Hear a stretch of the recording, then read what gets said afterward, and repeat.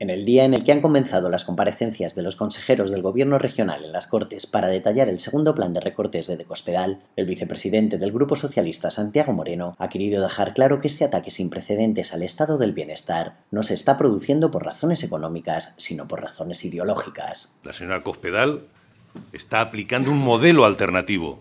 Por cierto, no el que decía en la campaña electoral, que no se atrevió a exponerlo, aunque ya advertíamos que sería así, Allí se hablaba de mantener los servicios públicos básicos. Ahora vemos que argumentando razones económicas se van a imponer por razones ideológicas un modelo sustancialmente alternativo que se basa en la disminución de lo público y la potenciación de lo privado. Moreno ha asegurado que desde el Grupo Socialista se va a denunciar y se va a hacer todo lo posible para luchar contra este desmantelamiento de los servicios públicos de nuestra región.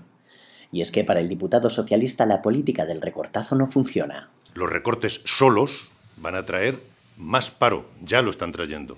Un 8% más de paro en Castilla-La Mancha desde que está gobernando la señora Cospedal, desde que empezaron los recortes en plan brutal, sin tener en cuenta la incidencia que tienen sobre el empleo de Castilla-La Mancha.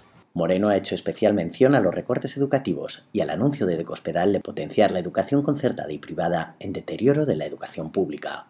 Medidas que pueden traer consigo el despido de hasta 4.000 profesores de la pública. Por este motivo se ha preguntado ¿Cuántos profesores van a quedar finalmente en la enseñanza pública? ¿Qué trasvase va a haber de profesores de la pública a la privada?